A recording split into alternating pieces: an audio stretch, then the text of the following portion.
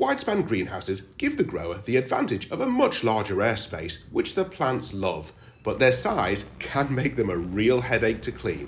Pete and Kev from Quadrotor Professional Drone Services had invited me along to observe a particularly challenging job they had won in West Sussex.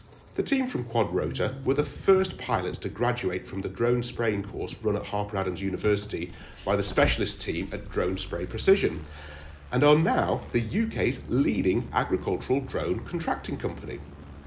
The job was at Toddington Nurseries, which boasts some of the UK's most advanced computerised glass in the industry but they also have several legacy widespan greenhouses dating back to the late 60s. And anyone who knows their greenhouses will understand that widespan glass can be particularly tricky to clean and shade due to its steeply pitched roofs. In fact, these days, it's hard to find anyone willing to go onto these roofs, and who can blame them?